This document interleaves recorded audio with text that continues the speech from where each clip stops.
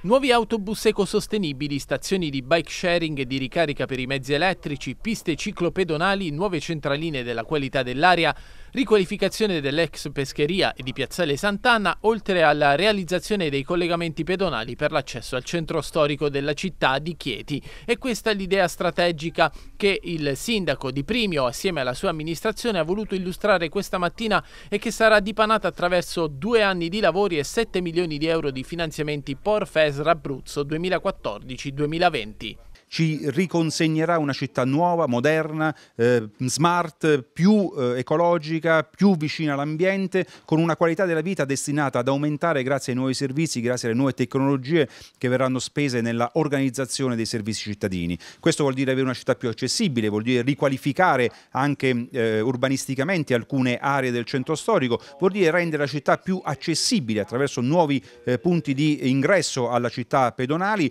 vuol dire rendere la città più fruibile possibile attraverso un sistema di eh, bike sharing e di charging hub per auto elettriche che ci darà la possibilità di rendere tutto quello che oggi è il mondo del, del, della mobilità elettrica eh, possibile per tutti o per un gran numero di persone, vuol dire collegare le grandi aree di interesse cittadino dall'università all'ospedale, dall'ospedale al centro storico, dal centro storico al centro di Chiediscalo, da, da Chiediscalo fino alle periferie con un, un, nuovo sistema di trasporto pubblico ecologico, nuovi 14 autobus verranno messi tra elettrici e Euro 6 in circolazione in città nei prossimi due anni, insomma nei prossimi due anni noi contiamo di riconsegnare una città moderna, una città che guarda al futuro,